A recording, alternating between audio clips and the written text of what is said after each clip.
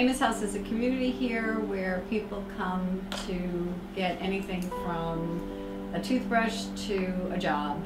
We are helping people make changes in their lives. And the Amos House have, has helped me change my life in a lot of different ways.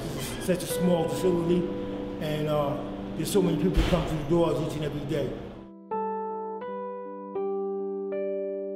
It does get extremely crowded and loud. Um, hopefully you can hear me now through the noise that's already in here. Sometimes when I call other companies, I think they think that I'm really not legitimately um, a financial counselor because there's so much noise in the background.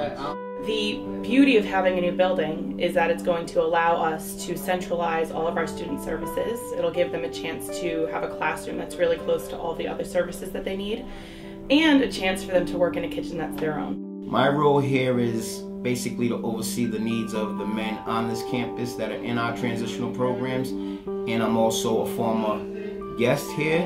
About more than half of our staff are also graduates of our transitional programs. Because of the separation of the buildings, it kind of keeps the staff split up and where we could all be in one building, it would help us to kind of oversee our programs in a more effective way. We provide case management and um, HIV prevention services, HIV testing, um, basic needs, referrals. A lot of the issues that are addressed and discussed are really confidential. Having a private space to talk to the women and to counsel them and to really um, move them forward in their journey would be um, really important for us and would make a big difference for us. Amos House does a lot uh, for people that saved my life. I don't know uh, where would I be without Amos House.